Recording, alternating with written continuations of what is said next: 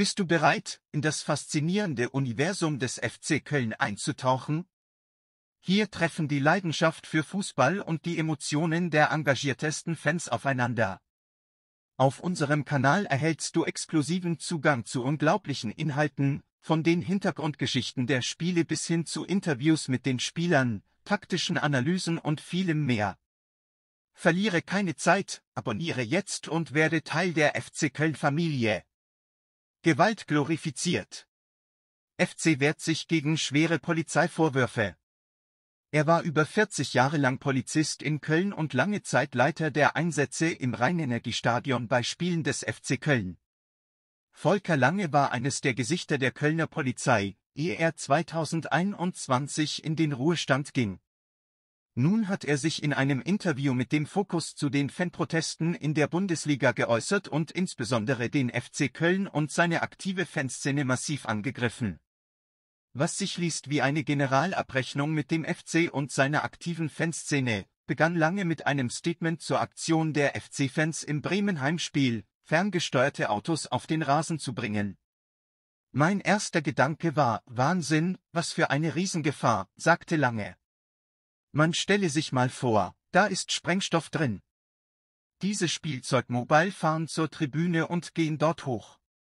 Wenn Fan-Ultras diese Minimobile ins Stadion reinbekommen, kriegen dies Terroristen erst recht hin.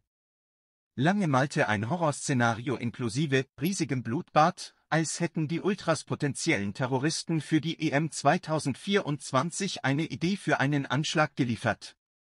Danach begann der einstige Polizist seinen Vorwürfen gegen den FC.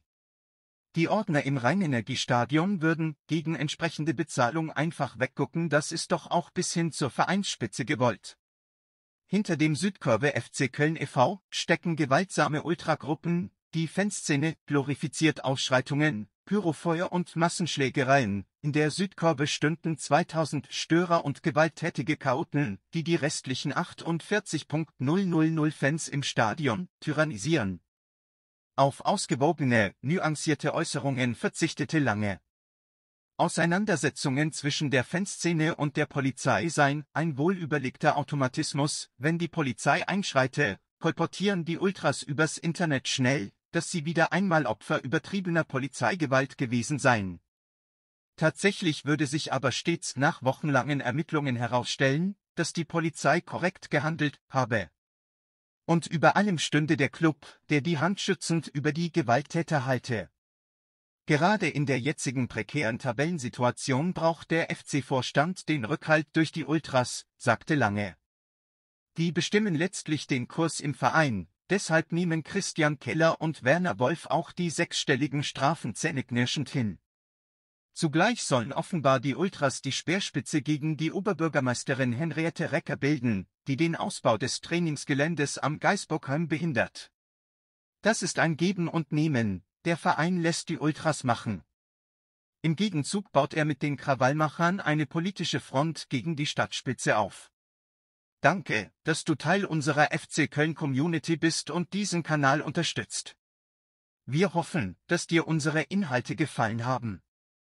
Dein Feedback ist uns wichtig, also zögere nicht, uns deine Gedanken und Kommentare mitzuteilen. Gemeinsam machen wir diesen Kanal noch besser. Bis zum nächsten Mal und auf Wiedersehen.